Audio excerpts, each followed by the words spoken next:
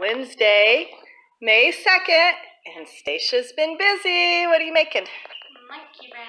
Show us. It's still rising. Ooh, I think we have dessert for tonight. Unless it burns. Yeah, let's see. We're finishing the canning over there. And the chicks are ah, doing their thing over here.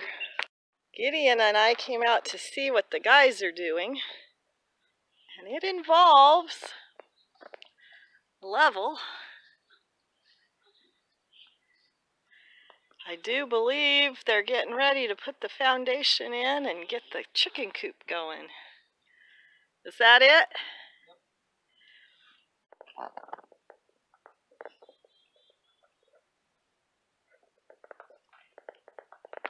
Gideon.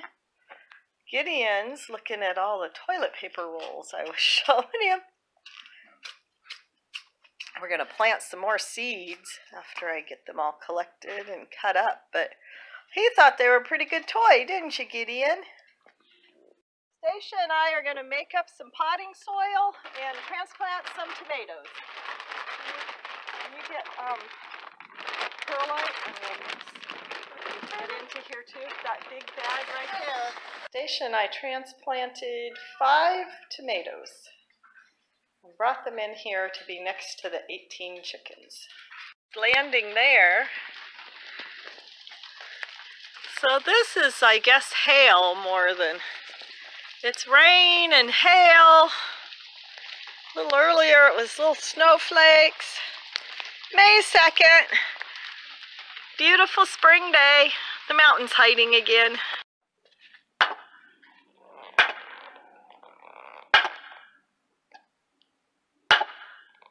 Just give it a try. It looks great in the pan. Wait, okay.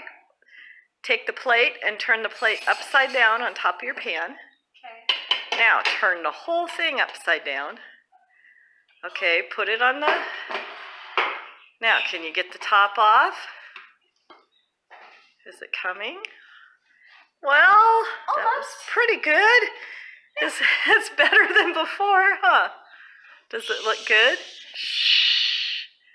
Yeah. Okay, it's not time to get started on dinner. We finally got all the trees. Stacia and I moved all the trees back outside, and then we had to clean up a mess, blossoms and leaves, and so we have an orchard. It's just still on our deck, but we're getting closer every day to getting it planted. If it would just not rain, hail, or snow, we could get this done.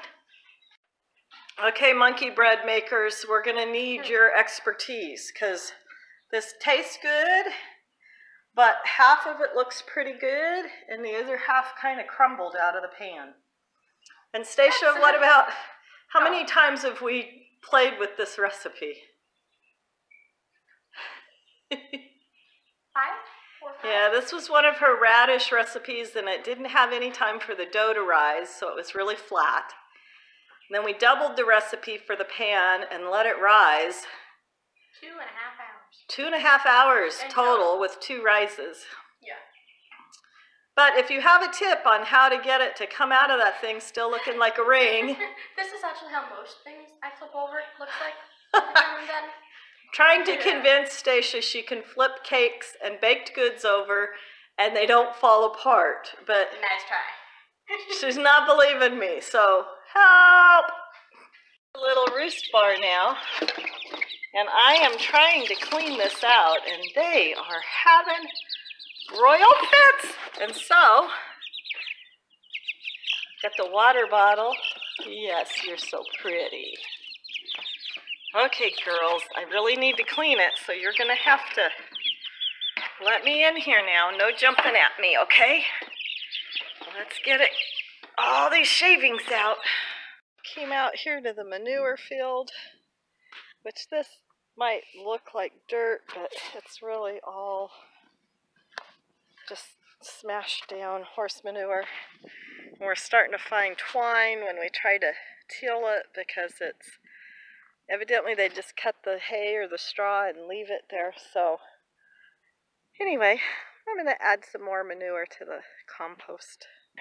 What do you call this?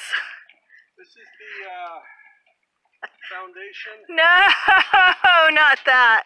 but This stuff falling from the sky in the middle of our projects. It's not rain. it's um, spring. It's not snow. It's kind of uh, It's not quite hail. But it is something.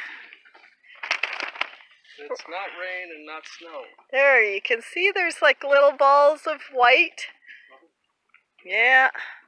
So this is the foundation of the chicken coop, and they are leveling it in and getting them set.